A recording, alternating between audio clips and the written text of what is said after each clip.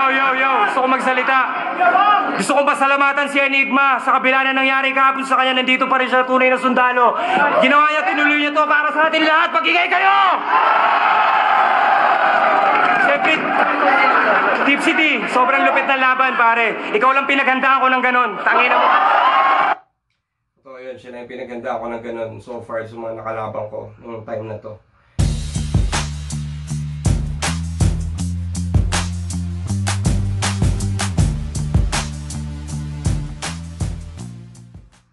Welcome back to Break It Down. Ngayong araw na to ay isang napaka-special na episode ng Break It Down dahil for the first time, uh, magre-review ako ng sarili kong battle. At ah, napili ko ngayon, gagawin na lang natin to randomly. Ang napili ko ngayon ay isa sa mga pinaka-requested na i-review ko daw na battle ko. Ito yung laban namin ni Tipsy D nung Isa Buhay 2016 semifinals. So bago tayo magsimula, gusto ko lang ikwento kung ano yung state of mind ko at yung nararamdaman ko bago nagsimula tong battle na to. Ah, siguro ah, a month before, nung kalaban ko pa lang si G-Clown, um, before kasi si Tipsy D, ang pinakauna kong nakaharap sa, bracket, sa bracketing ng Isa Buhay ah, 2016 ay si Badang. So, um, nasa isip ko na noong mga panahon na yon parang ah, easy, easy, easy, easy, easy lang. Kumbaga, ay si Badang lang to, hindi ko kailangan um, mag ah, pakakomplikado dito. Dahil yung style ko kasi kung ano yung kung ano yung style ng kalaban ko, sinasalamin ko lang din kung ano yung ipapakita nila. Hahanapin ko yung middle ground namin dalawa. Tapos, kumbaga gamit ko pa rin yung sarili kong style. Pero syempre, mag adjust ako depende kung ano yung um, ini-expect ko na gagawin niyang approach sa battle na yon. Now, knowing Badang, alam ko na yung gagawin niya. Puro mga insulto, puro mga chismis. So, tinry ko siyang sabayan dun sa ganong approach. At yun nga, um, yung unang battle nung unang battle ko sa isa buhay uh, against Badang sa Cebu ginawa. Tapos alam ko na alam ko na parang back then nung si Badang pa lang kalaban ko na malaki yung chance talaga na magkakaharap kami ni Tipsy D dahil nandun kami sa parehong uh, bracket. Um, tapos isa rin yun sa mga kinaka-excite ko na laban na mangyari dahil nung time na yon nung panahon na yon 2016, sobrang sobrang init ng pangalan ni Tipsy D. At parang yung ibang mga tao, siguro majority, ah kumbaga kung maglalaban daw kami, kumbaga ako yung tagilid. So, for the first time, nagiging underdog ako. Kaya sobrang na-excite ako dun sa battle na yon Kasi usually sa flip top, yung mga nakakalaban ko laging sila yung underdog.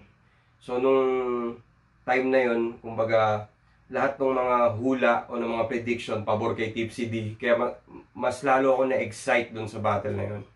So after nun, si G-Clown, um, kung mapapansin nyo dun sa battle namin, binanggit ko na agad din na uh, si Tipsy D na agad, kumbaga tinarato ko rin siya na parang katulad nung kay Badang na parang, uy, ganito lang yun, kumbaga admittedly um, parang hindi ko sila sineryoso katulad ng pagseryoso ko dito kay Tipsy D. So, nung araw na to, nung dumating na yung araw ng semifinals, um, sinigurado kong day before, kumpleto yung tulog ko. Natulog ako na maaga. Sinigurado kong kumpleto yung pahinga ko. Uh, sinigurado ko bago pumunta sa B-side, uh, nakain ko yung favorite meal ko, which is munggo and ano, um, crispy liempo na may chicharon, yun. Sin sinigurado ko yun, tapos um, dito siguro sa battle na to, kumbaga sa history ng mga battles ko sa flip top, ito yung battle ko na prepared, na prepared talaga ako at um, hindi ako nag hindi ko inisi-easy talaga. Dahil usually yung iba kong laban, hindi ko sinistructure yung rounds. Kumbaga, magbabaon lang ako ng mga punchlines, yung ibang parts, freestyle. Dito hindi. Kumbaga, structured lahat ng binanat ko dito. Hindi ako nag-risk na mag-freestyle. um, sinigurado kong mapapanalo to dahil yung challenge na naramdaman ko dito kakaiba dahil na rin sa hype ng mga tao. So yun, ah, simulan natin to. Um, gagawin ko, hindi ko na i-scorehan pa. Kumbaga, just, ah, magbibigyan na lang ako ng insight sa mga punchlines na mababanat dito ah, every round. Tapos, siguro ikukwento ko kung ano yung pakiramdam ko nun after nung round na yun. Okay, simulan na natin. Nanalo si Luni ng Goitos. Pinili niya mauna. Si Team CD. Pitong rado. Binigyan ko sila ng palugit. Tig tatlong minuto. Binigyan ko sila ng palugit. Tig tatlong, tatlong minuto. Semifinals to. Sulitin natin lahat. Flip top pakinggan natin. Vuelta Balento Trio ng Barat kay Team CD. Yo, yo, yo, game!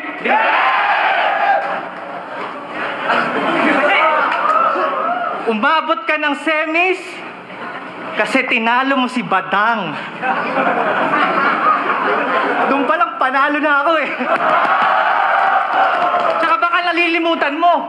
Sabi ng best mong hanggang utong lang, mas may chance ako manalo pag nag-solo na lang. Reference yun sa una naming laban ng 2x2.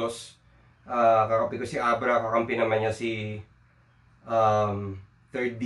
So binanggit niya yun na may chance manalo. Ikaw- may, may, may chance ka pa manalo pag nag-solo ka na lang. Linya ni Abra yun. Oh, shit! Mag-isa ako. Mag-isa ka. Kala ko hindi na magbubunga ang itinanim ko na pagtsatsaga. Ginalingan ko sa karir ng ating labanan ay maikasa. Sa huli, aanihin ko din pala yan na parang magsasaka. Okay yun, aanihin ko din palayan na parang magsasaka.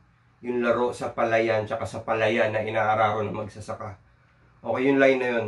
Actually, itong performance ni Tipsy D dito, isa rin sa mga pinaka magagaling niyang performance.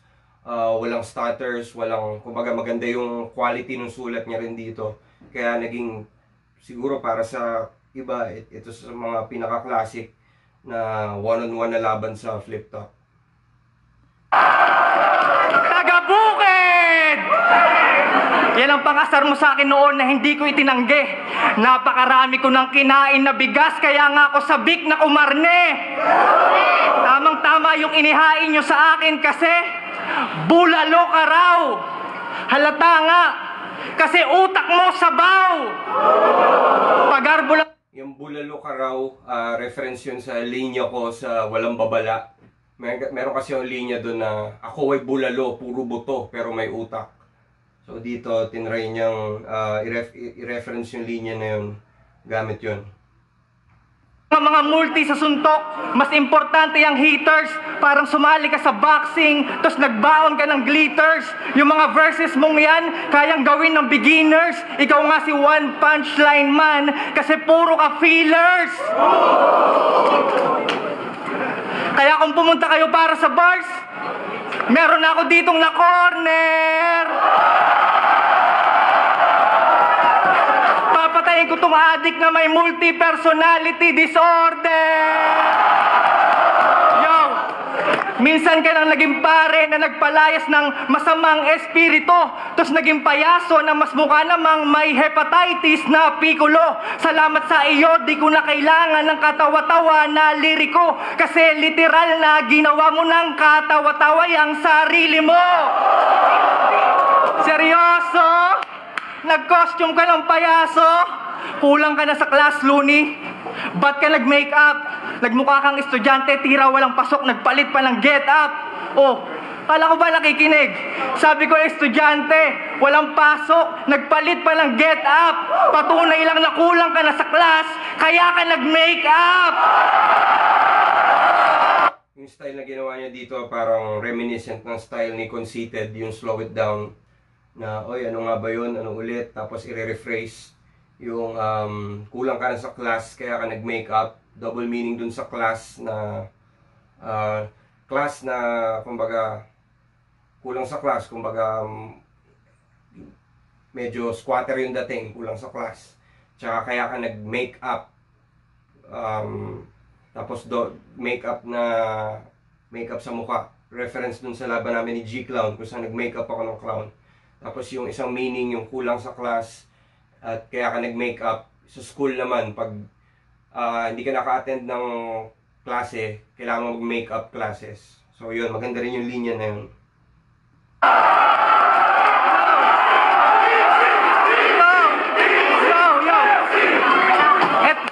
Eto na ba foundation ng hip-hop sa Pinas?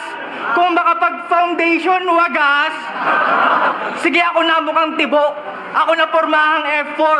Ako na hindi tunay na hip-hop o mukha akong potapete. Pero kung ibig sabihin naman ng pagiging tunay ay pagkokostume sa stage, okay na ako maging peke.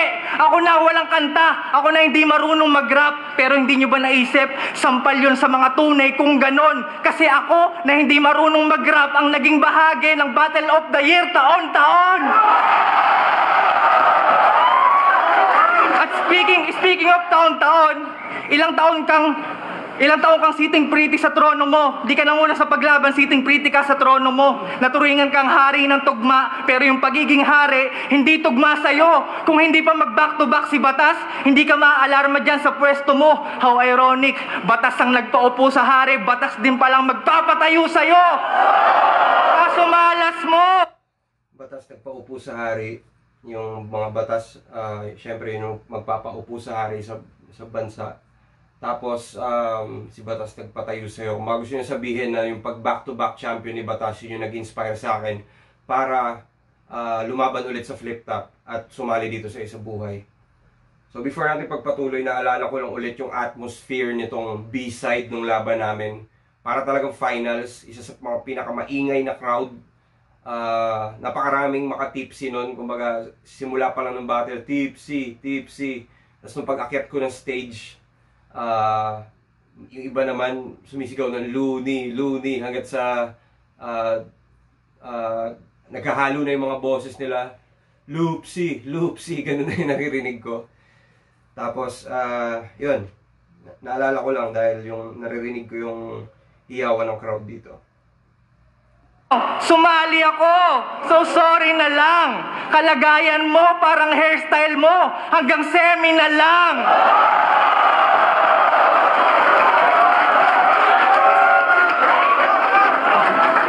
Famous ka lang.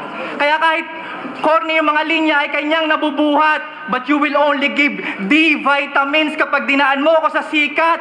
Buhay ko, ikaw ang author ng backpage. Tangina, di na ako nagulat. D vitamins, pag dinaan sa sikat, vitamin D, makukuha mo sa araw. Sobrang hina mo sa written, yun lang ang kaya mong isulat. Tahimik lang kalaban mo, pero author ng backpage, yun yung isa sa mga linya doon sa 2 on 2 namin.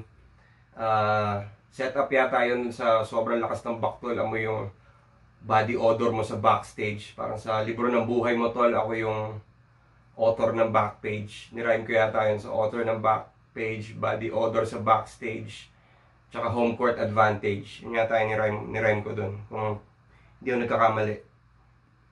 Buhay ko, ikaw ang author ng backpage. Tangina, di na ako nagulat. Sobrang hina mo sa written, yun lang ang kaya mong isulat. Tahimik lang kalaban mo, pero likas na halimaw to. Subukan mo kung gambalain. Buhay mo ay bukas na libro, ito ay silid aklatan ko, may paglalagyan ka sa akin. Yo! Solid, solid yung round 1 ni Tipsy D doon. Um, buhay may bukas na libro. Yung ender niya, solid din. Um, City Daklatan, tapos may paglalagyan ka sa akin. Libro, library. Okay, so yun yung round 1 ni Tipsy D. Ah, bago ko i-play yung round ko, kwento ko lang din yung pakiramdam ko nito nung nasa backstage pa, bago umakyat sa stage hindi ako nakikipag-usap sa kahit kanino doon pagdating ko doon sa B-side. Talagang focused ako. Um, may, kung may kumalabit sa akin, may nagpa-picture, hindi ko talaga pinapansin. Ah, kahit mga tropa, hindi ako kumausap doon. May isang tropa nagsabi, si Luni, oh, mukhang papatay ng tao. Kasi talagang sama ng tingin ko lang sa malayo. Kumbaga, nakaupo lang ako doon. Um, kumbaga nag-oobserba ako sa paligid, inoobserbahan ko yung crowd kung gaano karami, inoobserbahan ko yung body language ng mga tao. Tapos nung pagdating ni Tipsy D, tinitig, tinitingnan ko lang din siya. Tinitingnan ko yung body language niya kung gaano siya kahanda. Um, hindi siya tumitingin sa akin, nakatingin lang ako sa kanya.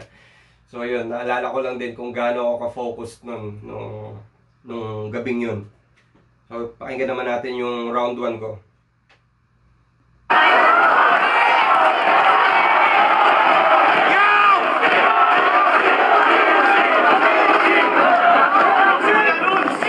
Halos apat na taon na pala nung una tayo nagkakilala.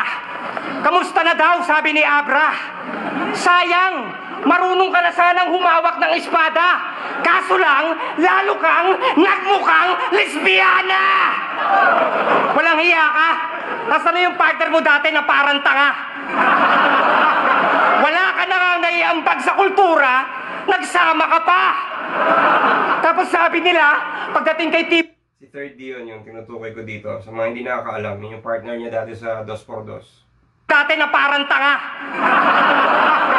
Wala ka na nga naiambag sa kultura, nagsama ka pa. Tapos sabi nila, pagdating kay Tipsy D, huwag daw ako magtitipid ng sobra. Kasi malaki na daw improvement niya. Parang liig ni Gloria. Pwes wala Noong mga time na to, ito yung si Gloria Arroyo, tinanggal na yung neck brace niya. Kumbaga tapos na yata yung issue sa kanya nang tapos tinanggal na yung neck brace. So ginamit kong simili dito yun. Malaki na yung improvement niya, parang liig ni Gloria. Kung pakialam kahit limang beses ka pang pinabagsik. Galing ka lang din sa tamod ko, matagal na kitang pinatalsik.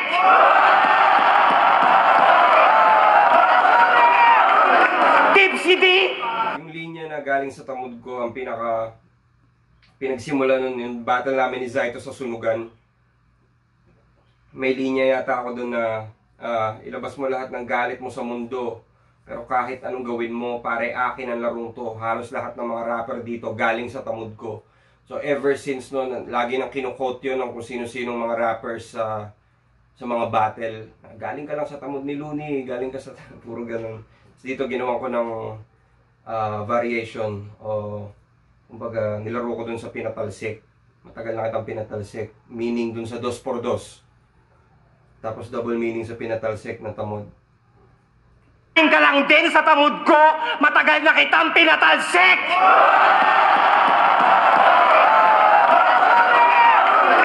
Tipsy D, tunog gangster sa unang dinig. Pero sa unang tingin, mukhang hamster na puno yung bibig. Napag si Tipsy. Naalala ko yung line na yun. Isa, isa to sa mga pinakauna kong nasulat na linya nung binubuo ko yung rounds. Ah, minsan kasi pag nagbubuo ako ng rounds, dinodrawing ko yung itsura ng kalaban ko.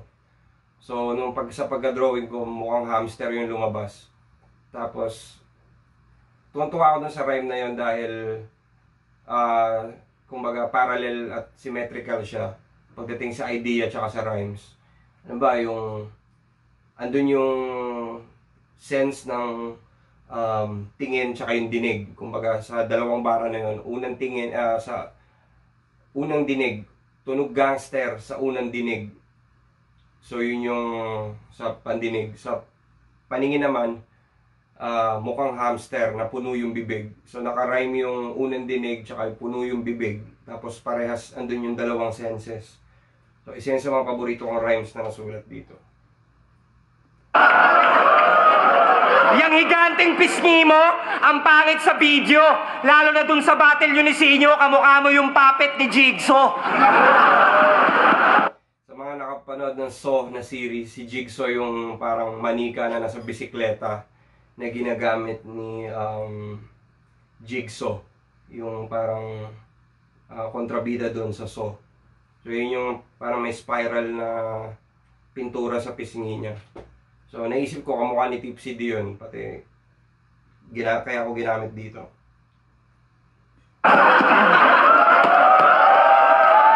At kung akala mo pupuruhan ko yung pustiso mong namamaga, mali! Kung akala mo pupuruhan ko yung piski mo namamaga, kamustahin natin yung ngipin mo pag, pag binatil ko yan, dalawang pustiso magagawa. Ano? Kamali ako doon, pero ang para sa akin kasi pag nagkamali ka, dapat ganun pa rin yung um, confidence mo tsaka yung Kumbaga dire-diretso ka lang dapat. Kasama sa rulebook ng MC yun. If you fuck up, keep going. Hindi mo kailangan tumigil, hindi mo kailangan ipahalata na mag-iisip ka. Pero yun gusto ko talagang sabihin dun, um, kumustahin natin yung ah kamustahin natin ano ba yung sinabi ko dito? Pustiso. Pisngi mo na mamaga. Kapit ni Jigsaw.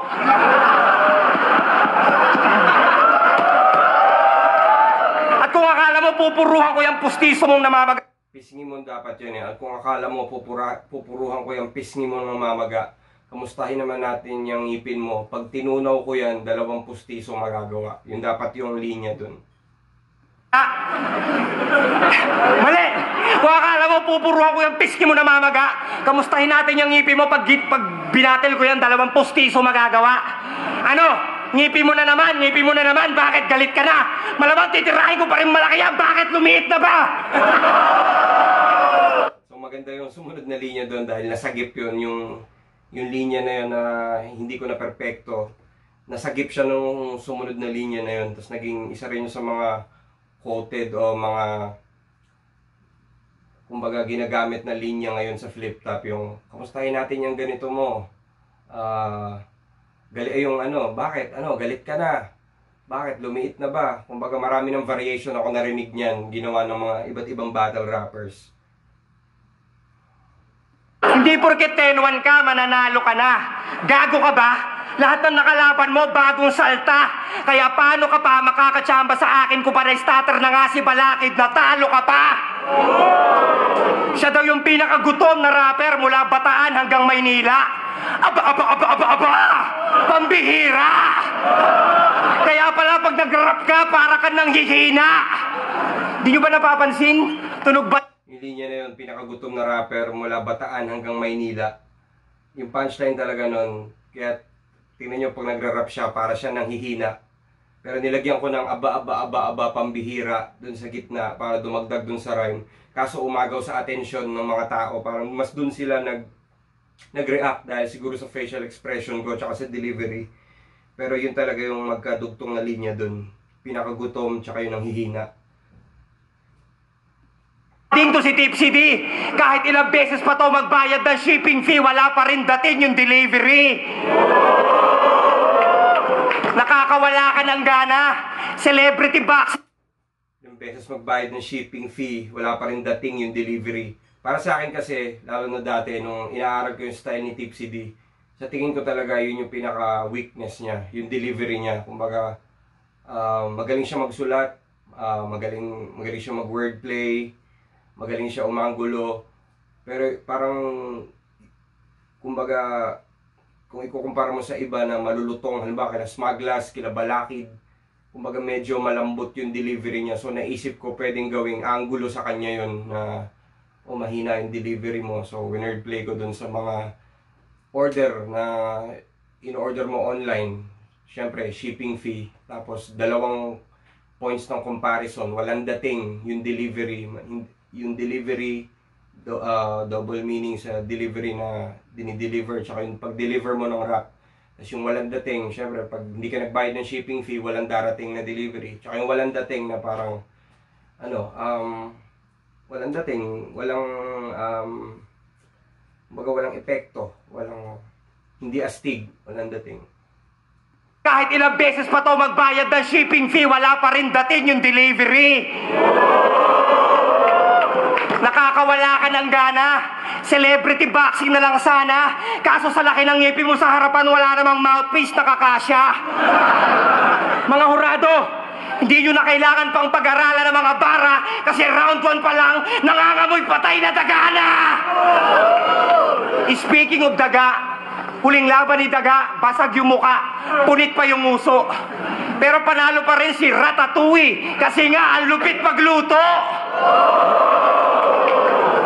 Reference sa laban nila ni J. King kung saan nag-choke siya. After yata nung rebuttal niya yun, nag-choke siya. So, um, dito ginamit ko yung reference na Ratatouille. Siyempre, yung mga banat ko sa kanya dito, puro daga. Ah, although hindi Ratatouille yung pangalan ng daga doon, naisip ko kung gagamitin ko yung mismong pangalan ng daga, baka hindi yun magets ng mga tao. Baka hindi magets na yun yung reference ko dahil syempre yung Ratatouille mas sikat yung title ng palabas kaysa sa mismong ah, pangalan ngayon nga nakalimutan ko na yung pangalan ng daga na yun eh. So dito isa, isa sa mga naisip naisip ko na i kumbaga i-consider na gamitin ko ba yung tunay na pangalan ng daga o gamitin ko yung ah, title ng movie para mas madaling magets ng mga tao. Tapos yun nga, ma- magaling kasi magluto yung daga doon sa Ratatouille. So nilaro ko doon sa idea na niluto yung laban nila ni J. King. So y- yun yung sinabi ko, basag yung mukha, punit yung uso, pero panalo pa rin si Ratatouille kasi nga ang lupit magluto. Punit yung uso, lupit magluto.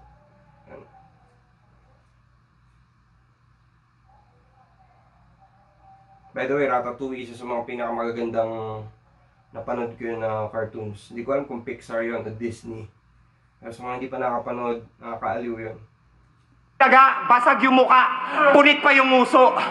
Pero panalo pa rin si Ratatouille kasi nga ang lupit magluto. Di ba nag-choke ka kay J. King? Biglang nablangko ang kanyang utak. Hindi na ako magugulat. Mahirap talagang magkabisado pag may ibang tao kang tagasulat.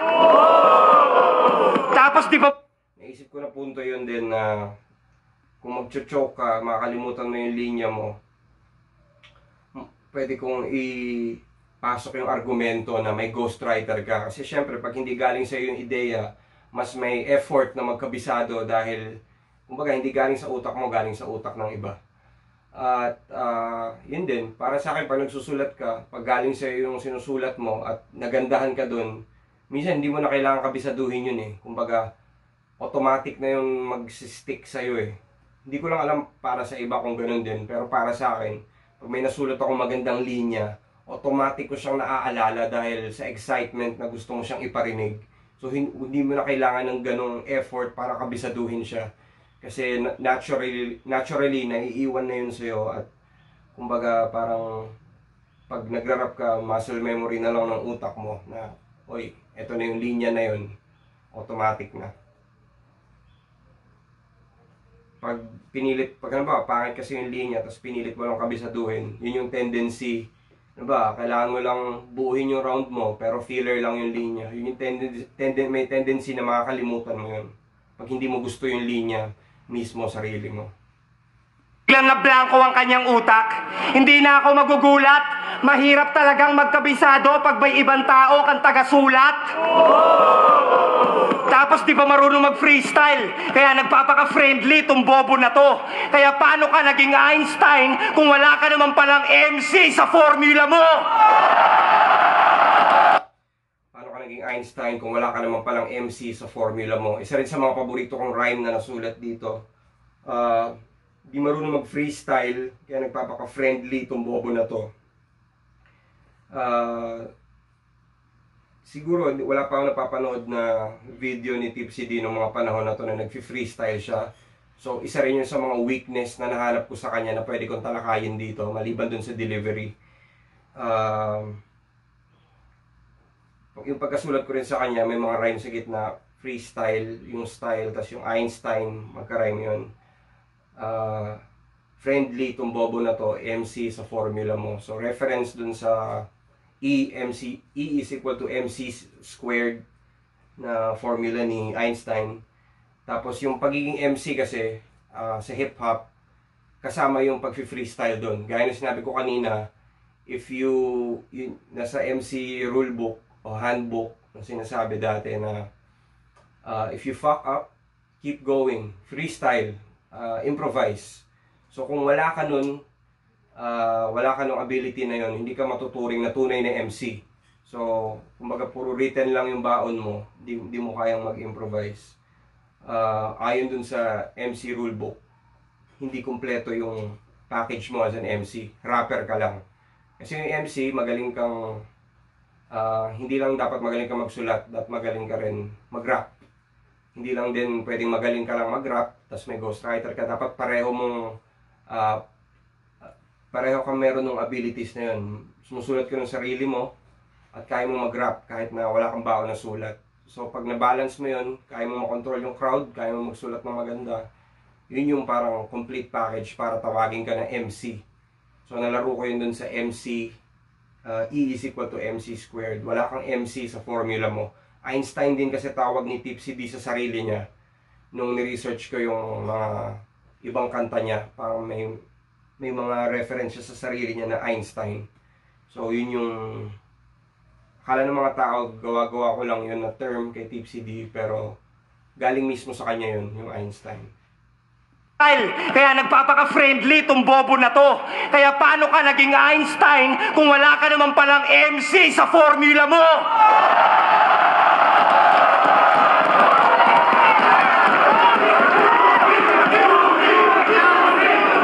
Nandito na ang professor ng professor mo para turuan ka ng lesson. Mas kabado ka pa sa batang tuturukan ng injection. Mas nervyoso ka pa sa tulak na inabutan ng inspection. Daga ka na nga, dinadaga ka pa. Ano yon Inception? Isa rin yan sa mga gusto kong linya ko dito. Daga ka na nga, dinadaga ka pa. Ano yun? Inception. Sa mga hindi nakapanood pa nung Inception na movie, o hindi nakagets itong linya na to, Inception yung panaginip within a panaginip na movie ni Leonardo DiCaprio kung saan tinataniman ng ideas yung mga tao sa panaginip nila. So yun yung naisip ko, daga na nga, kumbaga kung yun panaginip, na naginip ka sa panaginip mo, ito naman, daga na nga, dinadaga ka pa o kinakabahan ka pa. So daga na dinadaga, inception. Huwag mo nang pagkasya, pagkasahin yung mga bars mo. Masyado ng stretch, Mark. Kaya wala kang tumatatak na linya na parang stretch, Mark. Hindi ikaw ang pamantayan, umupo ka na lang sa bench, Mark. Dahil hindi ka veterano porkit matanda ka na din, Mark! Itong linya na to, minamak ko yung style niya na gano'n, yung mabagal yung pag deliver ng syllabication sa dulo. Isa rin sa mga gusto kong linya ko to dito, yung ah, umupo ka, ah, hindi ikaw ang pamantayan, umupo ka na lang sa bench, Mark. Mark kasi yung pangalan ni Tipsy D. Ah, yun, pamantayan, benchmark. So, umu- umupo ka na lang sa benchmark. Tapos, hindi ka veterano porket matanda ka na din, Mark. Si Denmark, isa sa mga um, mga naunang rappers. So, hindi ko alam kung nagets nung iba yon Baka akala nila walang wordplay doon. Pero gusto ko yung pagka buo ko nun dahil hindi siya, hindi mo na kailangan ihiwalay. Kahit pakinggan mo lang ng isang rinig, ano, um, kumbaga may sense na siya. Tapos, bonus na lang pag nalaman nila kung sino si Denmark, na isa sa mga veterano sa eksena. Um, hindi ka veterano porket matanda ka na din, Mark. Kasi alam ko, si Tipsy D, magka-edad lang din kami nito, o mas matanda siya ng isang taon, o ako yung mas matanda ng isang taon. Basta parang halos magka-batch kami ni Tipsy D. So, yun. Hindi ka veterano porket matanda ka na din, Mark.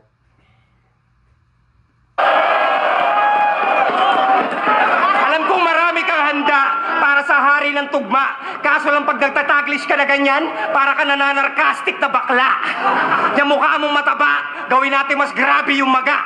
Ito na ba yung tinuturing yung bayani ng balanga? Yuyupi ito sa akin parang kalye sa balara. At pag bimistulang, tae na basa ng pusang kalye na gala. Kaya sa finals ng isa buhay, huwag yun ang hanapin! Ang daga!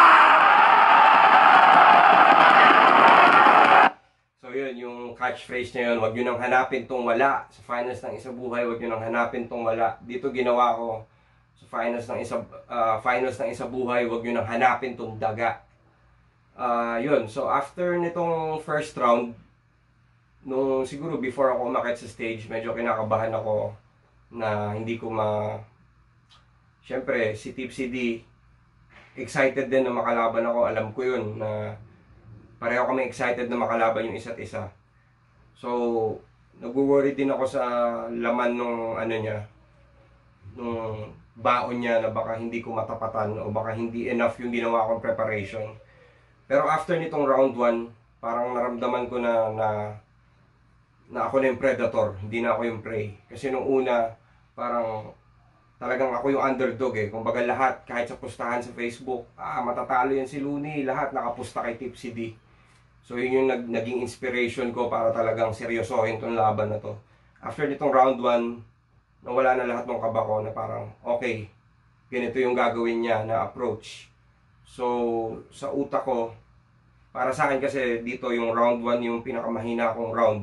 Even before ako umakit sa stage, ginawa ko kasi palakas ng palakas. Ginawa ko round 1, tas round 2 mas malakas, tas round 3 yung pinakamalakas.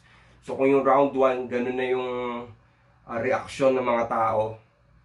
Kumbaga yung confidence ko parang okay. I-deliver ko na lang ng maayos to. Ah, pasok na tayo.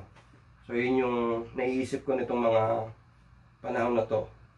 Although malakas din yung round 1 ni Tipsy D. Isa yun sa mga malalakas na rounds din niya. Actually, lahat ng rounds niya dito malalakas. Kumbaga, kung ikukumpara ko sa mga ibang battles, maganda yung pinakita ni Tipsy D dito. So yun, tingnan naman natin yung round 2.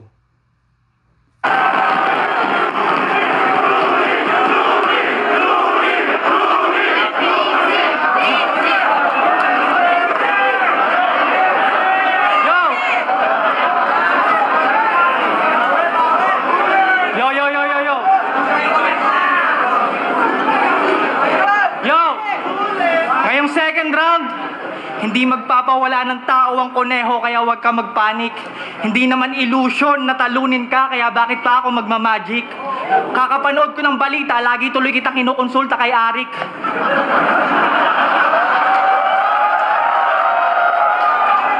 Buti na lang, hindi ka nag-back out. Uso pa naman yung sumusuko na adik.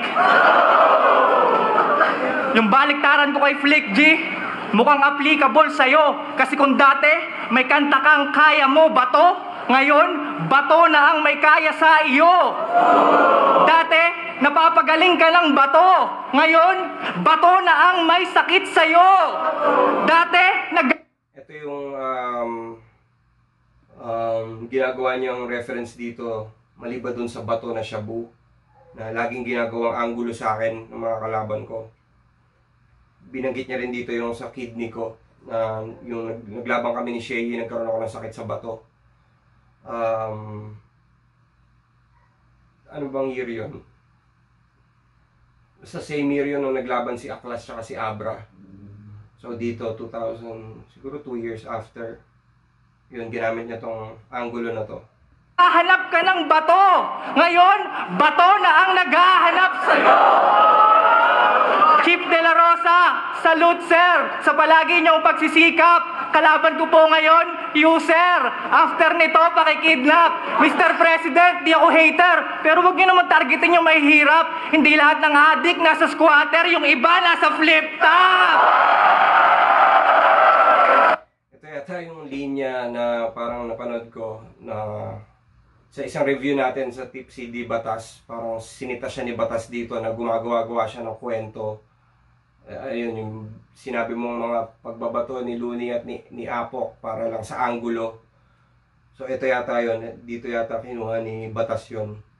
Kasi, ah, yun nga, all my life hindi ko na-try yung ganyan pero lagi siyang ginagawang angulo sa akin dahil siguro sa appearance ko may mga tato, payat, mal- malaki yung mata. So, yun, yun, yun yung laging nagsimula yan yata nung interview ni Badang.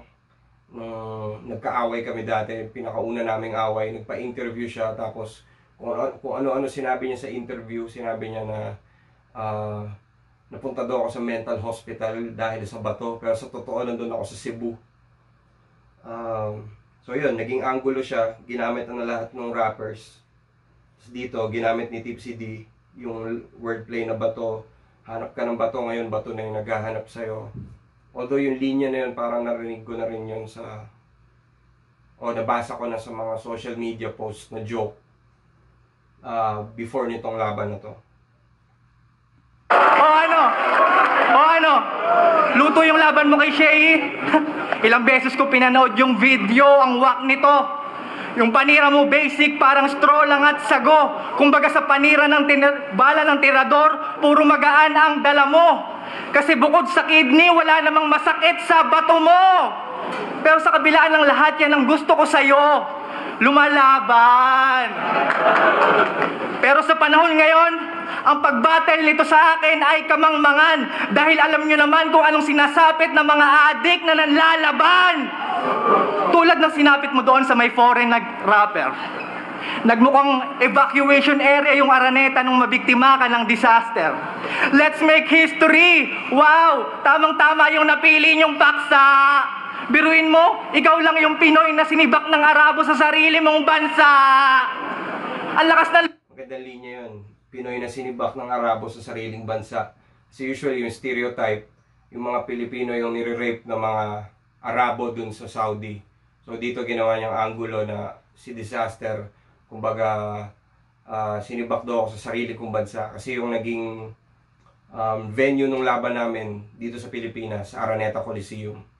Yung laban na yun, um, sobrang nasasayangan din ako doon dahil hindi ko alam dati kung matutuloy yun o hindi dahil walang mga sponsors hindi ko buti na lang si Disaster pumayag siya na siya yung gagastos nung lipad niya siya yung gumastos lahat nun gusto niya talaga ako makalaban sobrang thankful ko kasi pinakauna kong English battle si Disaster kagad yung kalaban ko which is for me na the best battle rapper sa buong mundo so para sa first battle mo makalaban mo agad yung pinaka the best sa buong mundo para sa akin napakalaking tagumpay na yun dahil idol ko yun. Sobrang starstruck ako nung laban namin. Hindi ako makapaniwala nakaharap ko siya.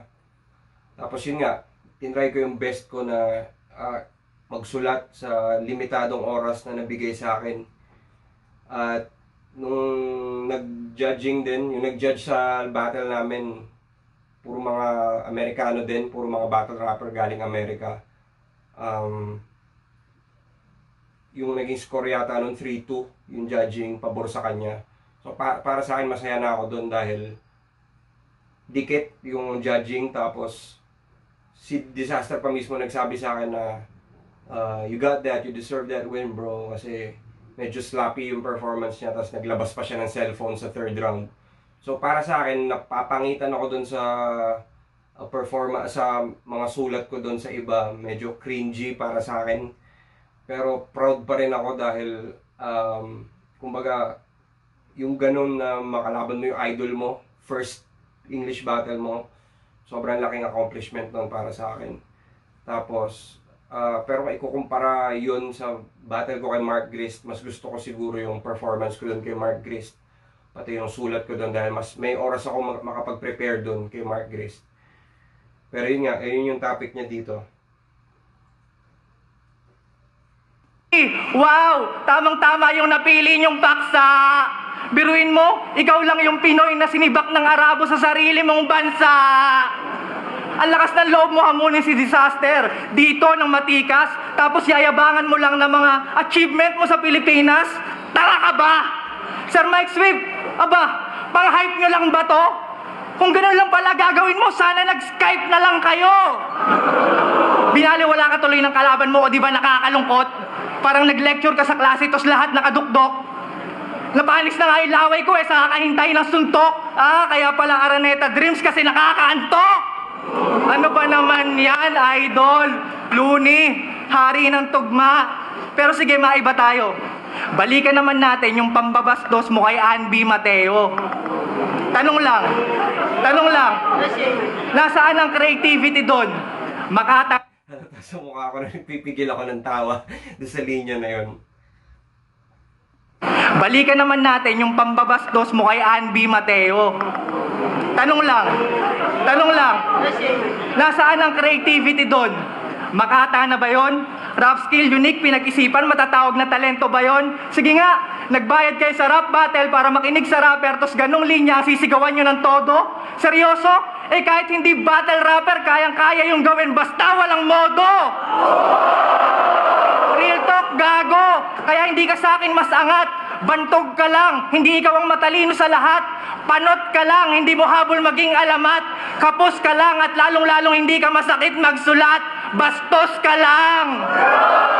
Sa ibang babae gustong lumamo. Ito yung uh, gulo naman niya dito, yung battle namin ni Shay kung saan pinuruhan ko si Al Mateo sa round 2. Yung battle na yun, preparation pa lang. Meron na akong sakit sa bato nun, so hindi talaga ako makapag-isip ng maayos. So kung ano yung default na naisip ko nun na Inisip ko si Shay, ganito yung atake niya. Imposibleng hindi mandadama ito ng mga kapamilya, ng asawa. So, si Ann Mateo, para sa akin, yun na yung pinakamadaling angulo na, ma- na naisip ko noon given yung condition ko na yun. So, habang yun, nagtitiis ako sa sakit ng kidney ko, puro yun yung ah, nasu- nasulat ko na kumbaga marami akong naisip na jokes. Yung mga yung sakit tinatranslate ko na lang dun sa isinusulat ko na yun. Sabi ko papatawanin ko na lang yung mga tao. Dito lalaban pa rin ako kahit na ganito yung condition ko. Importante ma-entertain ko sila. Kasi yung mga tao gusto talaga nilang makitang ah, gawin kay Shay yun. Dahil sa ginawa ni Shay dati sa isang rapper na si Kamandag kung saan binastos niya yung girlfriend niya So parang gusto ko yung mag ako yung magsilbing karma kay Shay na parang ah ganun pala gusto mo. So after nun, halos lahat na ng mga banat kay Shay puro puro na kay Ann Mateo katulad nung ginawa ni Sinyo. Pero yun nga, yun nga lang pinagkaiba nung sa amin ni, ni Sinyo. Si Sinyo dema, demanda yung parang muntik siyang mademanda dahil yung banat niya kasi kay Ann Mateo parang medyo alam niyo nagbo-border na sa libel siguro sa tingin ng mata sa, sa, sa mata ng mga magulang ni Ann. Dahil parang yung mga sinasabi ko kasi medyo outrageous eh. Mga hindi mo talaga kumbaga hindi naman totoo. Talagang gusto mo lang tarantaduhin. Kumbaga imposible siya na mangyari talaga. Yung kay Sinyo kasi medyo dikit sa reality. Kaya siguro na inisip kumbaga para lang sa opinion ko kasi kung ba't hindi ako nagkaroon ng ganong issue yun siguro yung pinagkaiba ng atake namin. Yung sa akin medyo fantasy, medyo alam niyo yun, outrageous siya kung hindi naman siya totoo. Talagang for the sake of battle lang, for the sake of mambastos. Pero yung kay Sinyo kasi medyo hits closer to home eh. Kaya siguro ganun yung naging reaksyon ng kampo nila Ann Mateo dun. At ka lang, hindi mo habol maging alamat. Kapos ka lang at lalong-lalong hindi ka masakit magsulat. Bastos ka lang. Sa ibang babae gustong lumamutak. May asawa ka pa niyan. Sobrang berde ng iyong utak. Nilulumot na ba yan? Kanta mong Cerberus malaburak. Hindi naman sa pagmamaselan pero bakit ako papasok sa iyong utak? Eh napakadumi niyan. Kaya yung kidney ni Marlon P, naunang sumuko na. Kasi yung pagiging madumi ay nasa dugo mo na. Pinakamahusay ka sa tugma, aba nang yayamot ka ba? Eh kung magaling ka naman pala, eh ba't nagagamot ka pa? Dapat sa'yo sinusunog. Huwag ka feeling malakas na nilikha. Kung yung may lagnat nga, inaapoy, yung tulad mong may sakit pa kaya.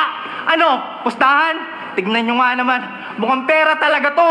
Sige, payag ako. Basta gamit nating pangkiskis eh yung sarili mong bato. Mukhang pera na naman! nag nag-rap agad. Mukhang pera na naman. So yun, ah, malakas yung round 2 ni Tipsy D.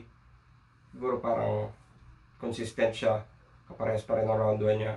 Pinakita niya pa rin same consistency. Kasi yun, binanggit niya yung mukhang pera, parang mayroon siyang natisod na tripwire. na off, binanggit yung mukhang pera. So doon, um, naisip ko may mga rhymes ako naka nakahanda doon kung baga kung sasabihin niya yung mukhang pera. Ah alam ko yung ah, talent fee ko. Ah, ano nga ba yun? Sabi nito sinasabi nito ta- ah, reality bro talent fee ko. Kumbaga nakahanda yun. Pero hindi talaga siya nakaplano na nakapasok sa round ko so nung pagkabanggit niya nun parang automatic binanggit ko agad yung mukhang pera na naman so ito yung round 2 ko Mukhang pera kumbaga yung rhymes dito pre-med talaga to. Sige, payag ako. Basta gamit nating pangkiskis eh yung sarili mong bato. Mukhang pera na naman! Mukhang pera na naman kung ano-ano na lang talaga sinasabi nito. Alam mo, masakit ang reality bro. Na yung 100,000 na hangarin ninyo, down payment pa lang ni Arik ng talent ko! Kaya tangina mo! Gusto mo Yabang eh, no? yung, grand prize down payment parang ng talent fee. So yun, ah, yung mga rhymes doon pre-med, pero yung iba doon freestyle, lalo na yung mga nasa gitna. Tsaka yung tangina mo, hindi yung kasali doon. naisip ko lang na, uy, karime din ng talent, talent fee ko, tang ino mo, naisip ko lang din yun. Tapos hindi na ako kasi yung nag ano, oh, flip top game, yun yung rebat ko. Dinugtong ko na lang dun. So, yung naging connector nun yung mura na tang ina mo. Para dun sa written part na nung structured part nung round 2 ko. Reality bro, na yung 100,000 na hangarin ninyo, down payment pa lang ni Arik ng talent fee ko! Kaya tangina mo! Gusto mo ng bars? Gusto mo ng bars? Pagbibigyan kita kasi minsan lang to. Sa dami ng bars na baon ko ngayon, kahit sa elevator ng minahang bato, may signal ako. elevator ng Minahang Bato, may sig- sa elevator wala kang bars, wala kang signal sa cellphone. Lalo na kung sa Minahan. Tapos Minahan pa ah, bato, kumbaga. So dito, yan ginawa kong ano yun. Um, parang medyo hyperbole, kumbaga. Siyempre mga tao gusto makarinig ng bars dahil si Tipsy D. So dito parang sinasabi ko na pagbibigyan ko sila. Gagawin natin yung style mo na sinasabi ng mga tao. So gaya ng sinabi ko, kung sino yung kalabang ko, hinahanap ko yung middle ground, isasalamin ko sa'yo kung ano yung style mo. Papakita ko sa'yo kung paano yung gawin loony style. Kung yung battle rap naging boxing, talon-talo ka sa sapakan. Hindi tayo magka-level, magkaiba tayo ng larangan. Yung estilo ko, direkta, pambara ko na bakbakan. Yung estilo mo, puro yakap, hanggang mapagod yung kalaban. O di ba totoo naman? Estilo mo puro yakap hanggang mapagod yung kalaban. Parang sa boxing, meron kasi mga boxer na talagang slug it out, banat, banat. Meron ding iba na dinadaan sa yakap o sa strategy, pinapagod muna yung kalaban. So, parang naisip ko pe- na pwedeng comparison yun sa style ni Tipsy D na 4-bar setup na magsiset up muna ng mahaba bago makarating sa punchline. Kumbaga naihalin tulad ko yun sa mga boksingero na ganun, yung nangyayakap para mapagod ka. Mas mahusay pang pumunto si Badang. Tugmaan parang lumpia na walang laman kasi ubod ng tabang. Tsaka paano tugmaan parang lumpia na walang laman kasi ubod ng tabang. Ah, yung ubod doon, double meaning, ubod ng tabang, napakatabang. Tsaka yung ubod na lumpiang ubod. So, tugmaan na parang lumpia na walang laman, ubod ng tabang.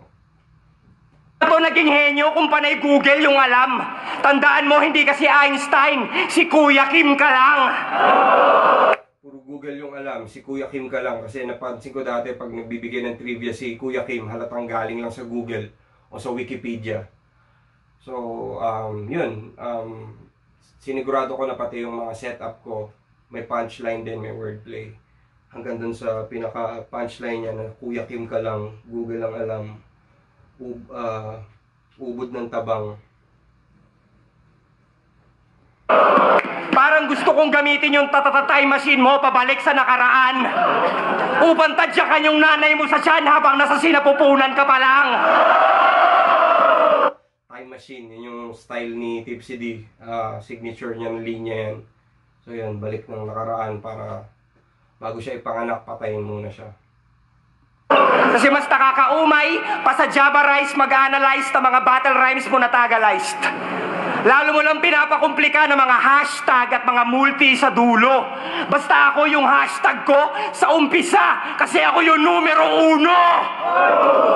Hashtag num- Hashtag style ni Tipsy D yun na may babanggitin siyang phrase tapos i-summarize niya ng isang word. So yung hashtag na yun, nilaro ko, sabi ko, yung hashtag ko, wala sa dulo, nasa umpisa. Kasi ako yung numero uno. Kasi yung number one, may, may yung parang hashtag sign, andun sa umpisa ng number one, di ba? So kaya sinabi ko yung hashtag ko nasa umpisa. Kasi ako yung numero uno, o yung number one, o yung the best. Pero uno, style mo yung gago. Yung estilo mong pauso, niresist mong walang punto. Hindi ka epektibo mga insulto kasi mga linya mo hindi puro. Magtatagalog ka tapos mag english ka sa dulo. Sino ka? Si Tulpo?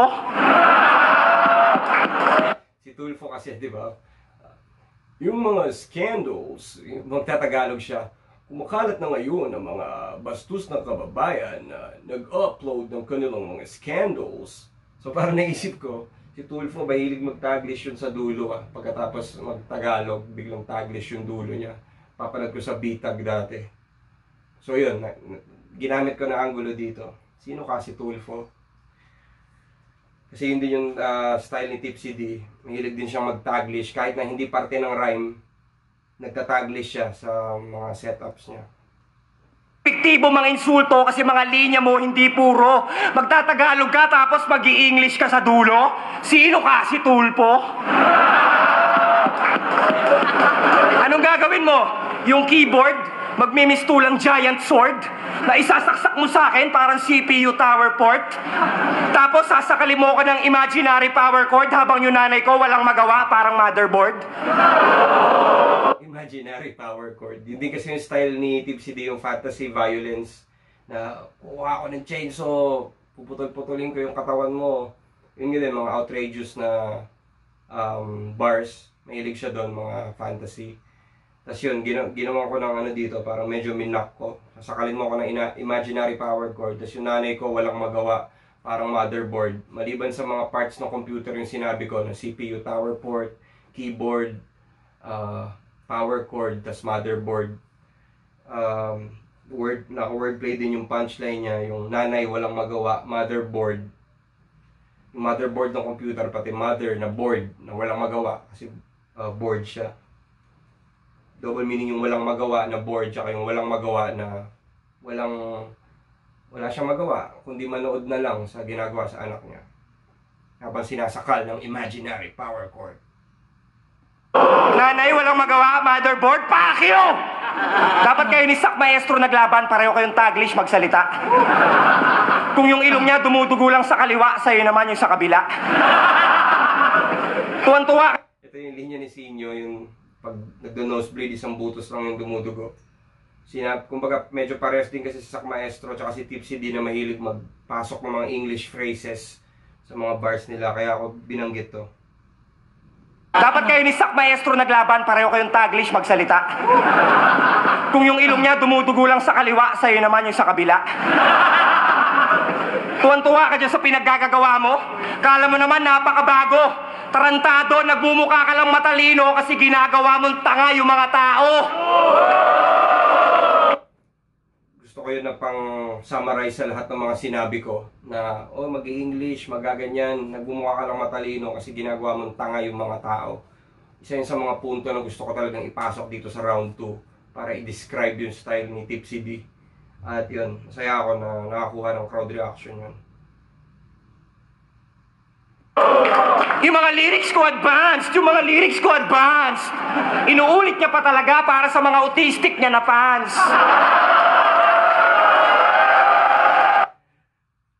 Ito linya na to. Siguro kaya dito naging bitter sa akin yung mga fans ni Tipsy D.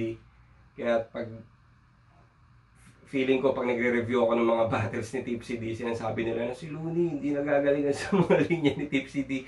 Huwag niyo pong seryosohin, battle lang to. Kumbaga, sasabihin talaga lahat dito para turugin yung puso ng kalaban. Hindi naman, kumbaga, hindi lang naman ako may round dito, may round din si Tipsy D. Nagkaroon din siya ng chance para gawin sa akin yun. So dito, sinasabi ko na um, yung mga lyrics ko advance, yung mga lyrics ko advance, inuulit niya pa talaga. Kasi may style si Tipsy D, yun nga yung conceited style na run it back. Nung ano daw, katulad nung make-up class kanina, yun, inuulit niya pa talaga.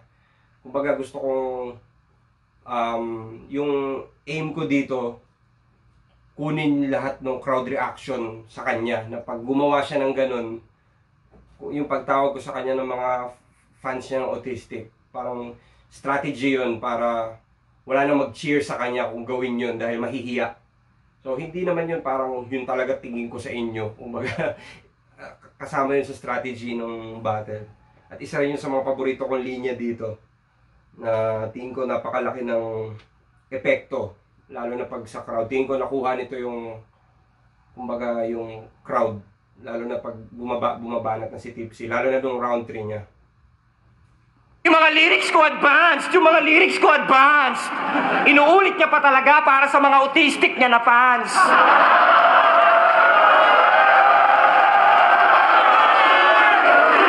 Sige nga, mga Ang ganda rin kasi ng rhyme eh, lyrics ko advance. T-stick niya na fans. Naka-multis din yun. So maliban dun sa thought na nakakatawa siya, ang ganda rin ng rhyme para sa akin. Kaya ako naisip yung pwede ko namang ibahin yun. Pwede kong gawing mongoloid na fans o mga nerdo mo na fans. Pero dahil sa lyrics, yun, mas, mag- mas maganda yung role sa dila ng autistic niya na fans. Lyrics ko advance. So maraming intentions behind kung ba't susulat ka ng bar para sa akin. Hindi lang yung dahil gusto mo mang insulto, gusto mong um, gamitin yung word na yun. Minsan, naka, dinidikta din yun ng tugma. Dinidikta rin ng ah, gusto mong sabihin ng retorika. Pareho. Pareho kong binabalanse yun. Ulit niya pa talaga para sa mga autistic niya na fans.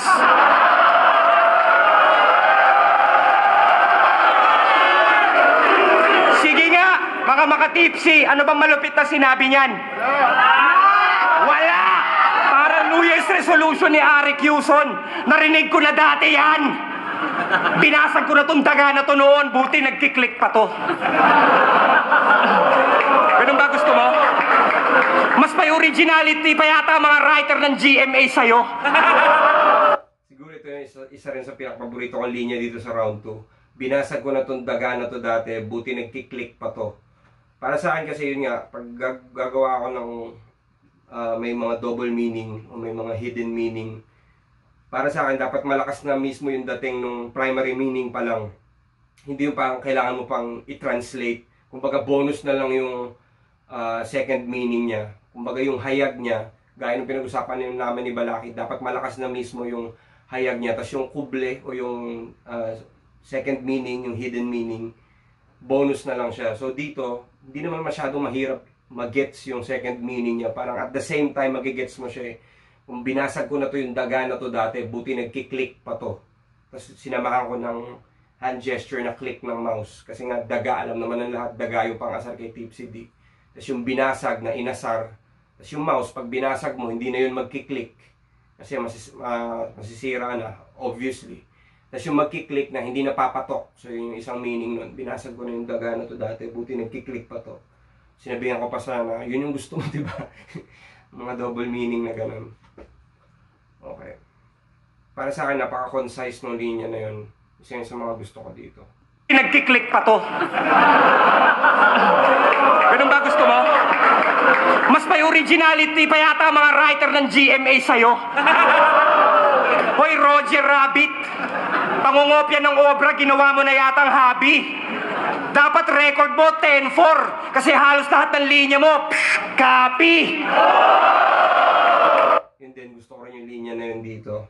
Papunta dun sa GMA originality. Kasi ngayong dati yung mga palabas sa GMA halatang ginaya lang sa mga foreign na ah, palabas. So, kinumpara ko siya doon, mga writer ng GMA.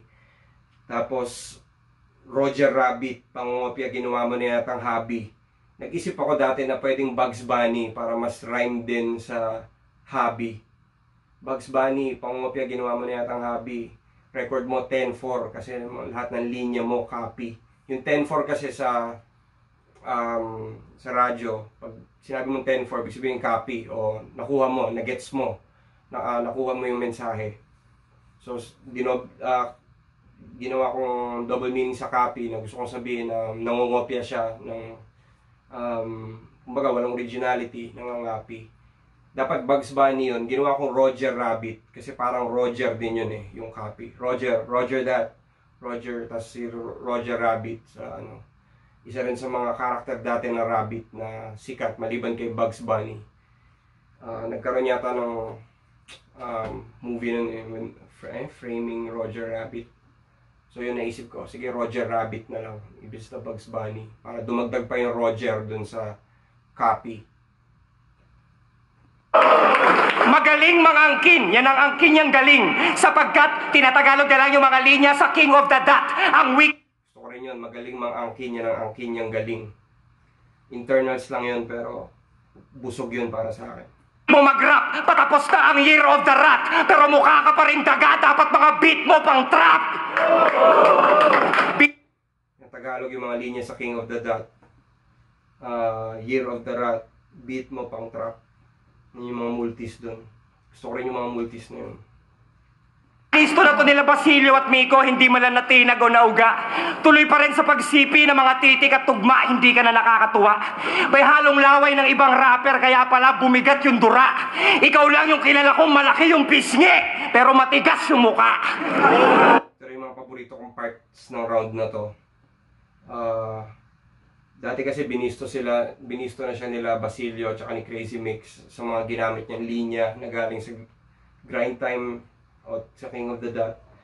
So dito, um, maliban dun sa mga napansin nila, may mga napansin din ako. So dito ginawa kong, dinagdag ko dito sa mga angulo ko dito.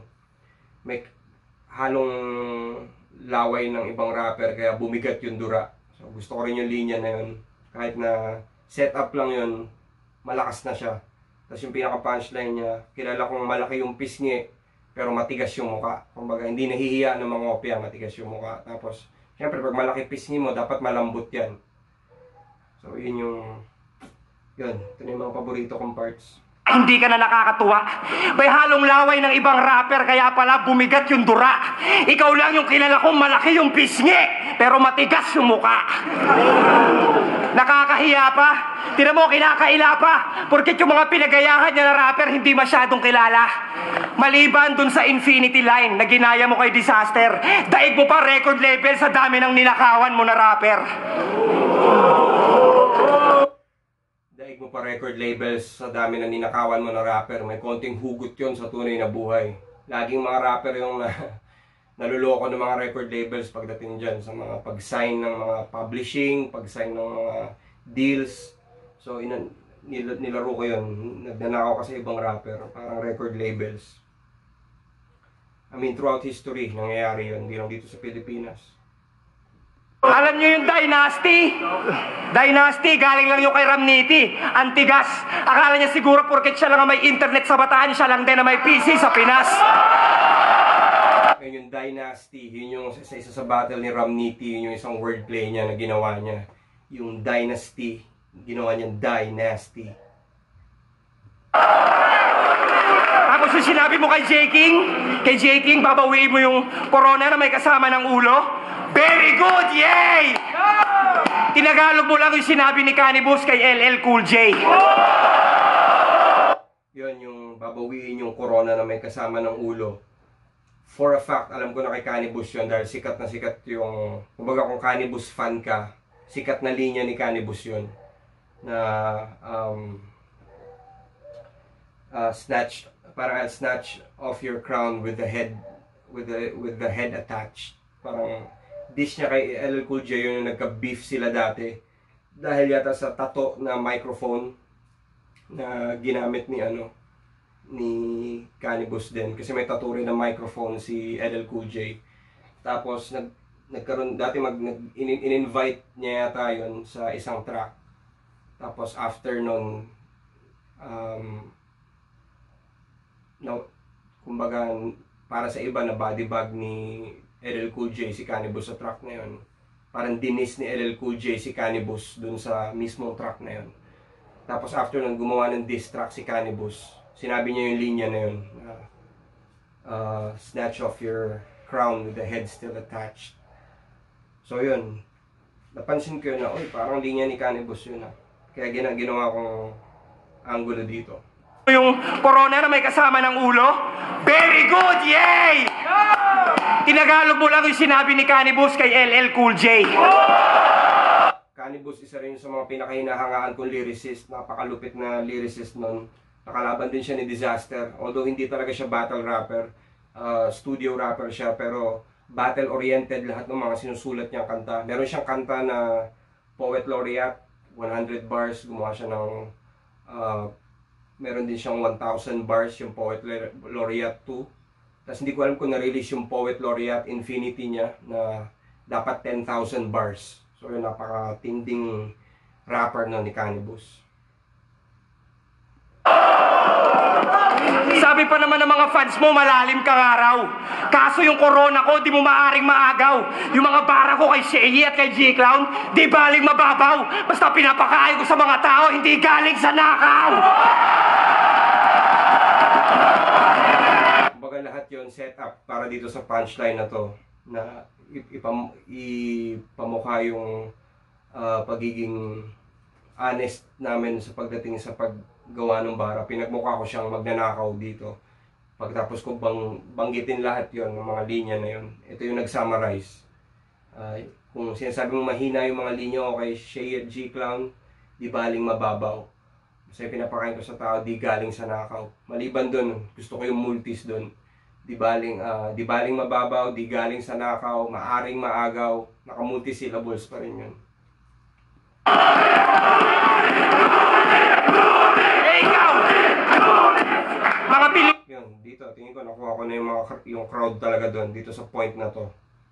Lumipat na sa side ko, yung sigawan ng mga tao.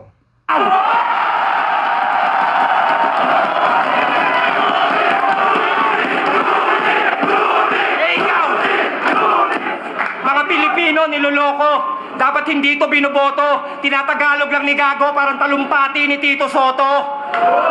Natagalog lang ni Gago para talumpati ni Tito Soto. Dati nagkaroon ng uh, speech si Tito Soto na naging issue na plagiarized lang mula sa uh, speech ng ibang tao na English, tas tinagalog niya lang. So parang naisip ko pwede rin i-relate yun kay Tipsy D. Kaya ako ginamit dito.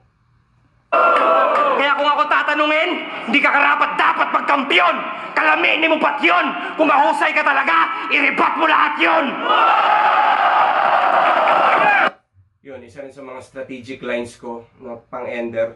Kung mahusay ka talaga, i-rebat mo lahat yon. So binigay ko sa kanya lahat ng pressure dahil sa dami ng sinabi ko na yon na claims na sobrang specific na LL Cool J, kay ganito, kay Ramniti. Kung mahusay ka talaga, magaling ka sa rebuttal, kagaya ng sinasabi mo, i-rebat mo lahat yon. So napakalaking ah, pressure nun para sa kanya sa simula nung round 3 niya. Naisip ko rin na nung laban nila ni J. King, after niya mag-rebut, dun siya nag-choke. So naisip ko na baka isa rin to sa mga weak points ni Tipsy D pag nagre-rebut siya, nakakalimutan niya yung written parts niya. So dito, tinry ko siyang i-coax papunta dun sa direction na yun na okay, mag-rebut ka. Hasaktan ko yung pride mo, sasabihin ko lahat to para mapilitan ka mag-rebut. Pag hindi ka nag-rebut, para mo nang inamin at mapapansin ng mga tao rin yun na, oy, hindi nag-rebut. So malakas na puntos yun. So yun yung talagang ah, ano ko dito sa round 2. Pagkatapos ko sabihin lahat yun, sinamarize ko ng ganun. Lahat ng mga sinasabi ko sa kanya, meron akong summary. So yun, ito yung pinaka-summary ng lahat dito sa round 2. Feeling ko mas malakas talaga tong round 2 ko doon sa round 1. Kumbaga kung, kung sa hierarchy ng strength ng para sa akin, nung sinusulat ko siya. Tinry ko talagang palakas ng palakas bawat round. Okay, yung kay Tipsy din naman panoorin natin.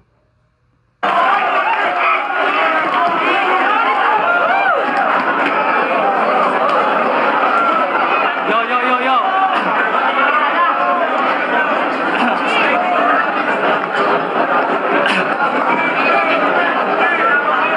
Yo, yo, yo, yo, yo. Game, game. Yo. Yun, medyo matagal siya nagsimula. Tingin ko, tinry, ah, nagko-contemplate siya kung ire-rebat niya ba yun o hindi. Kumbaga napaisip siya dun sa i-rebat mo lahat yun. Siguro di, hindi na lang niya sinugal. Nagdiretso na lang siya dun sa round niya.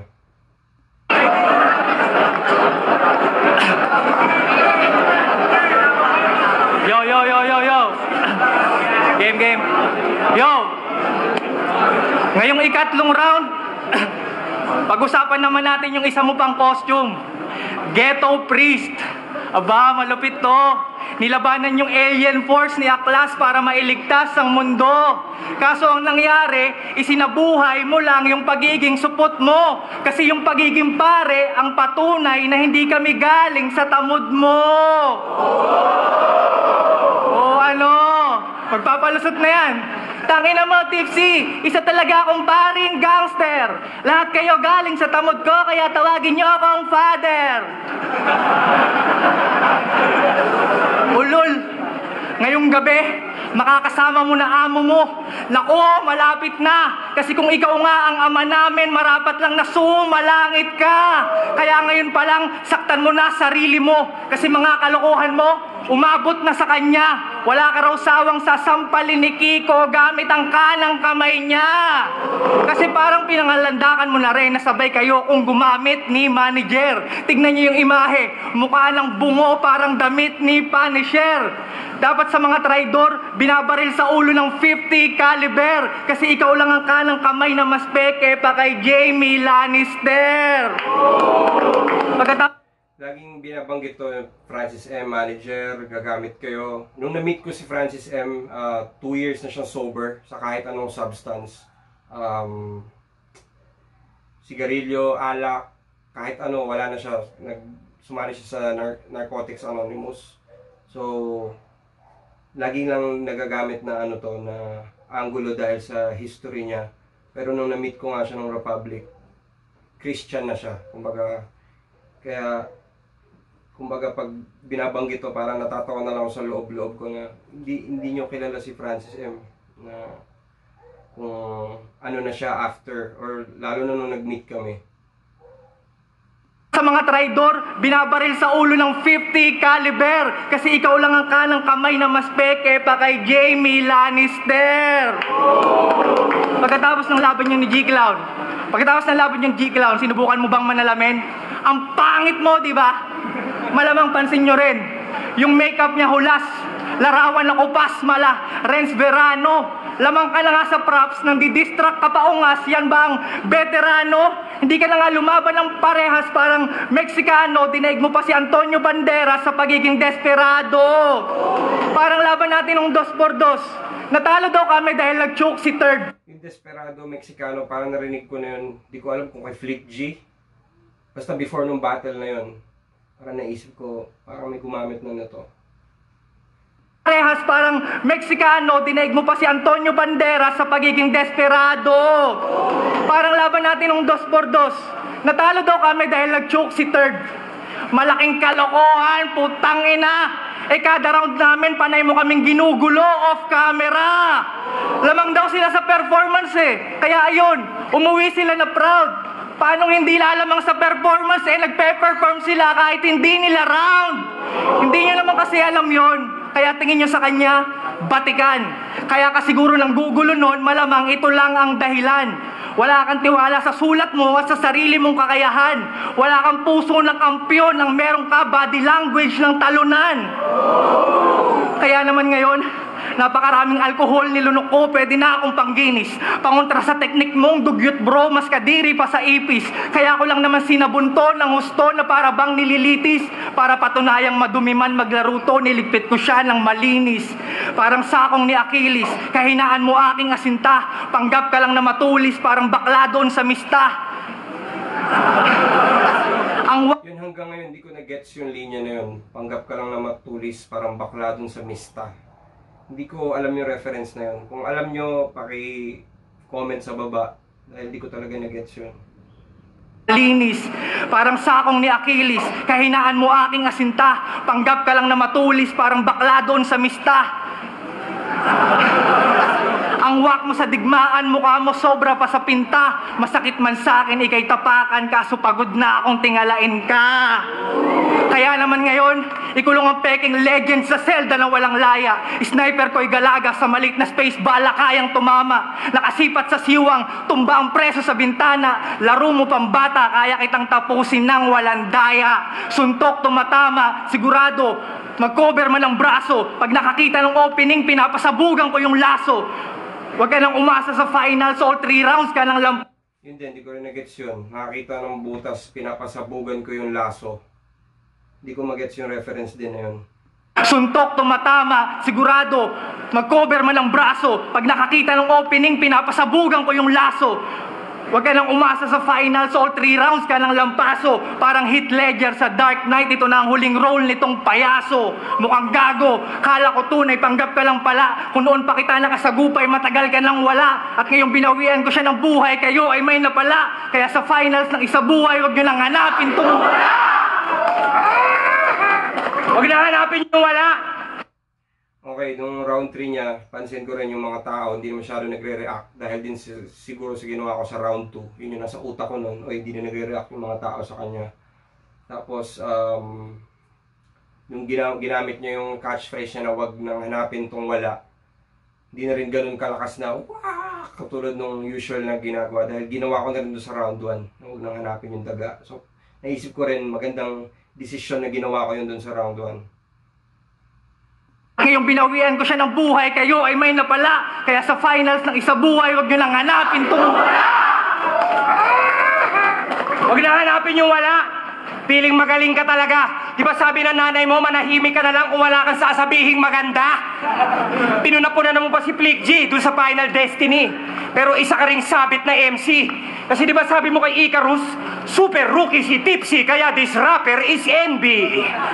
This rapper is NB? Doon pa lang, panalo na ako eh. Mas matino pa yata sa'yo mga grammar ng grade 3. Ano sinabi mo, rapper si NB, tapos yung sinabi mo kay Balakid yun na mas classic. Tawa ako ng tawa. Patay daw yung mga kalaban niya pag-ahon, parang biktima ng pating at piranha. Piranha? Ha? Piranha yun, tanga! Tsaka sa ilog yun nakatira, wala sa dagat nun, tanga! So dito binabalik ko sa kanya yung mga pamumunan niya sa mga MCs.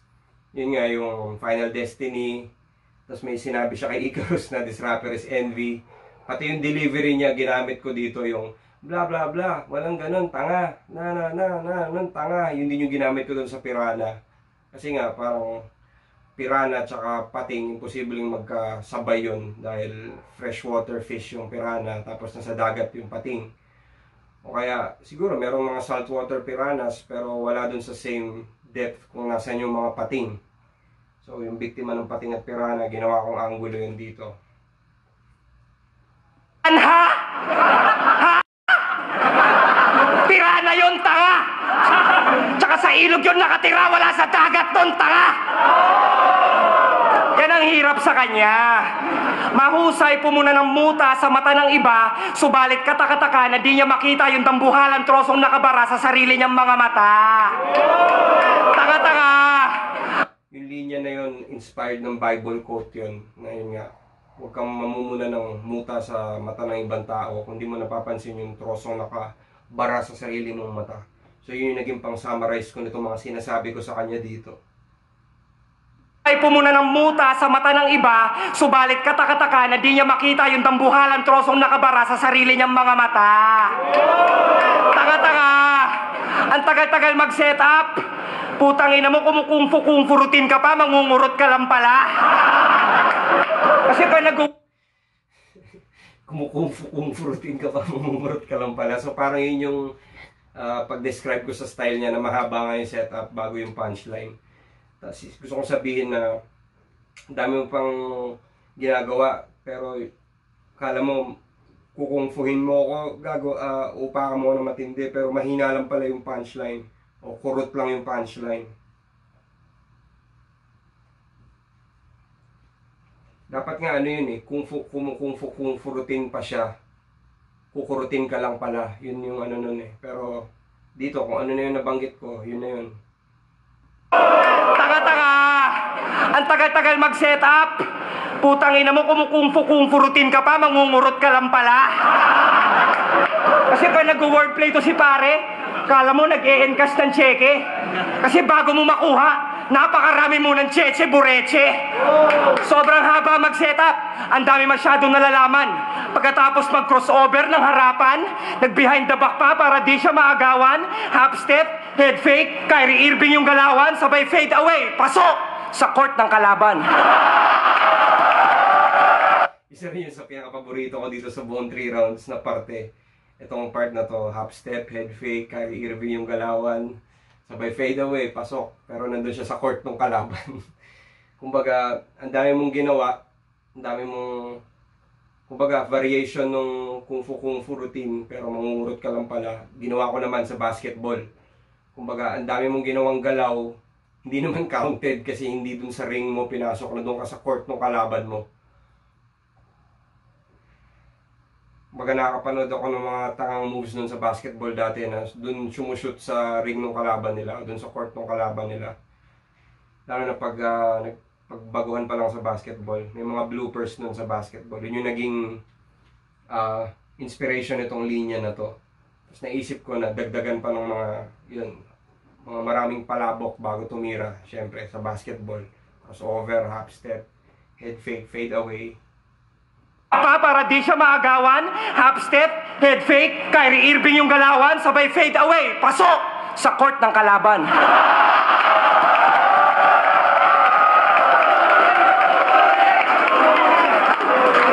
Speaking of basketball, ako'y para si Lebron na naka-protein shake. Di ko na kailangan ng Bosch at Wade. Konting hate na mamotivate, umi-score ng 48, triple-double all the way. Ikaw, para ka si Stephen Curry ng Golden State. Kaya mo manalo ng onsing straight, pero pagkaharap mo na yung hari, 0 for 8, no debate, di ka na makapag-concentrate.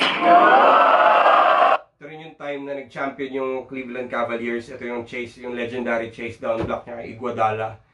Um, 2016, yun, semifinals sa buhay. So yun, kinumpara, kinumpara ko siya kay Stephen Curry. Tapos LeBron James, yung parang ginawa kong ano sa sarili ko, na naka-protein shake, di na kailangan ng Bosch at Wade. Siyempre, wala na siya sa Miami nun. Bumalik na siya sa Cleveland. So yun, 0 for 8, no debate. Di ka na makapag-concentrate. Kasi yun nga, yung time na yun, si Curry, dami niyang missed na tira nun. Ah, dahil na rin sa pressure. Siguro, no finals na yun. Speaking of concentrate, tinitigan niya yung bote ng Sunny Orange maghapon kasi nakasulat concentrate.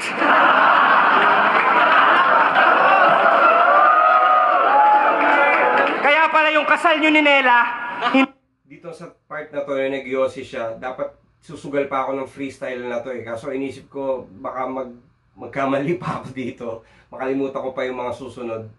Kasi yung concentrate, kumbaga setup yun papunta sa Nela na kinokonekta niya lahat. Pag, nung nakita ko nagsindi siya ng Yossi, naisip ko yung Yossi break, karime din yun ng concentrate. Tinitigan niya yung ah, bote ng Sunny Orange kasi nakalagay, concentrate.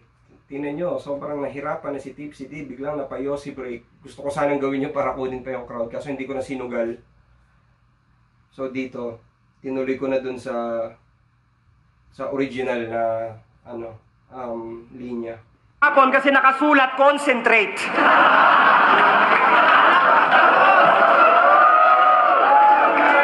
Kaya pala yung kasal nyo ni Nela, hindi na naman natuloy.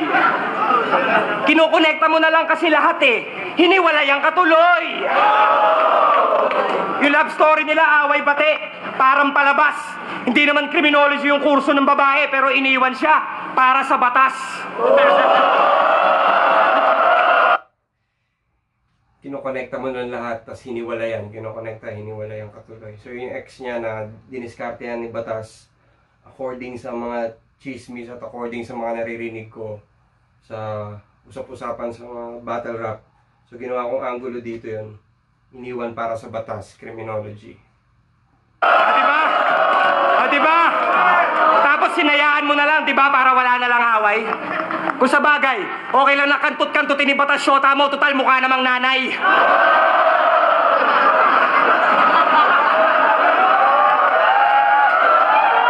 Tsaka may bago na siyang girlfriend. Nakita ko yung mga litrato sa Discovery Suites. Ang sweet! Ginawa pang cover photo ni Tips. Kaso lang napansin ko, pag nakatalikod na yung pics, ang hirap na malaman kung sino na yung chicks. Nalala ko to. Ah, actually, real talk to. Nung binisit ko yung page niya, nung nagpe-prepare ako para sa kanya, nakita ko yung cover photo nilang dalawa ng girlfriend niya. Doon sila sa infinity pool, tapos nakatalikod sila sa camera. Ah, nakaharap sila sa sa kumbaga yung yung angulo galing sa likod yung kuha tapos sa infinity pool sila tapos kita yung tattoo nilang dalawa tapos naisip ko pareho kasing mahaba yung buhok nila Siyempre, naka, long hair si Tipsy. So, mahirap malaman kung sino yung chicks doon sa dalawa dahil nakatalikod. So, yun, binanat ko dito yun. Pete! Ginawa pang cover photo ni Tips. Kaso lang napansin ko, pag nakatalikod na yung pics, ang hirap na malaman kung sino na yung chicks.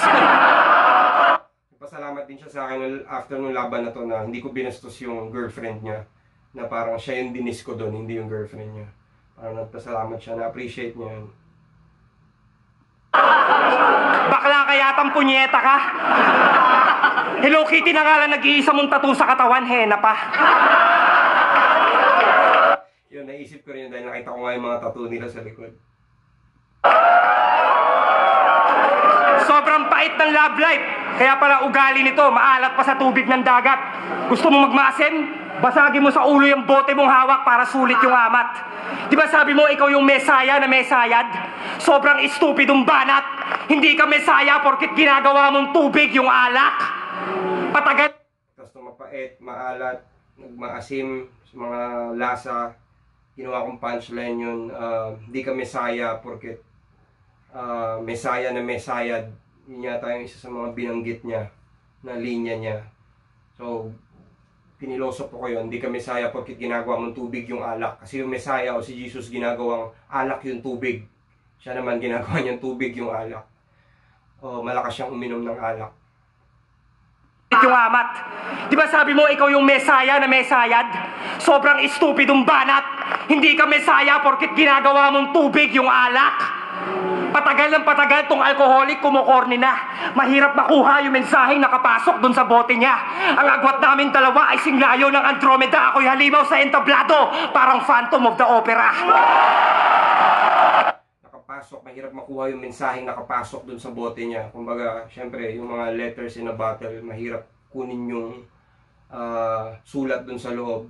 Kaparehas din nung uh, ginawa kong comparison sa mga wordplay niya na mahirap ah, magets o makuha yung mensahe. Ganun din pag sa bote. Ah, related din sa pagiging ah, alcoholic, bote. Alcoholic kumukorni na mahirap kunin yung mensahe nakapatok nakapasok sa bote niya tapos yung punchline niya agwat namin dalawa sing layo ng Andromeda ako'y halimaw sa entablado parang Phantom of the Opera so naka multis lahat yun pasok dun sa bote niya layo ng Andromeda Phantom of the Opera Naikot ko na buong mundo. Positibo ako. Ikaw, lasing ka lang kaya akala mo yung mundo umiikot sa'yo.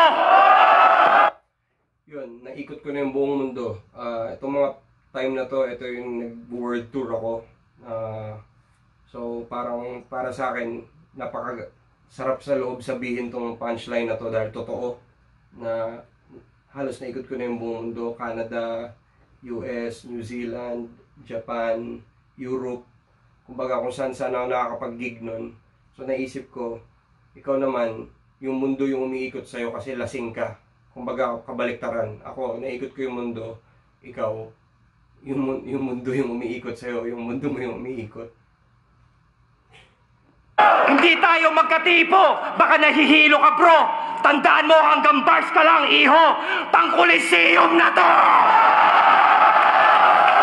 hanggang bars ka lang iho pang coliseum na to so yun yung pinaka punchline set up lang yun yung umiikot yung mundo Siyempre bars yun yung pinauso ni Tipsy D na siya daw yung nagbabars so maliban sa binanggit niya yung battle namin ni Disaster kumbaga naging semi rebuttal to sa sinabi niya na Araneta Dreams Araneta Coliseum. Kasi yung bars tsaka Coliseum dalawang magkaibang um, magnitude ng gig. Kumbaga ikaw hanggang bars bars ka lang tumutugtog ako tumutugtog ako sa mga Coliseum. So yun.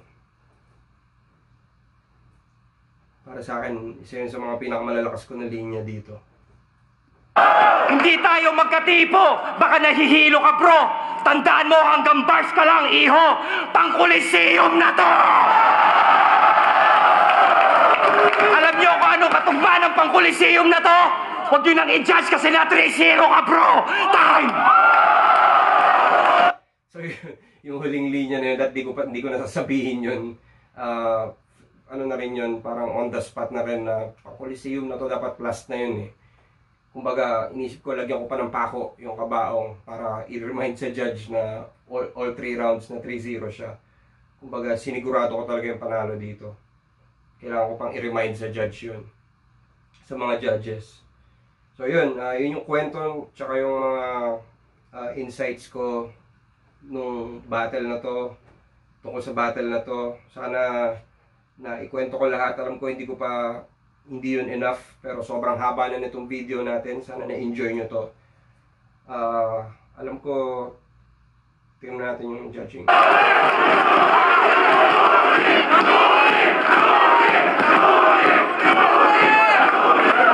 Yo! Vuelta Balentong 3! Laking! Laking! Shoutouts ulit sa inyong lahat! Looney Tip City!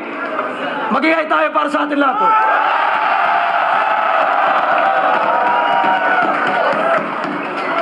Isabuhay 2016 semifinals. Ang boto, 7-0, advancing sa finals.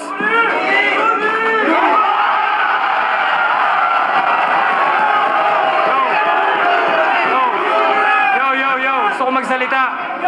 Gusto kong pasalamatan si Enigma sa kabila na nangyari kahapon sa kanya. Nandito pa rin siya tunay na sundalo. Ginawa niya, tinuloy niya to para sa atin lahat. Magingay kayo!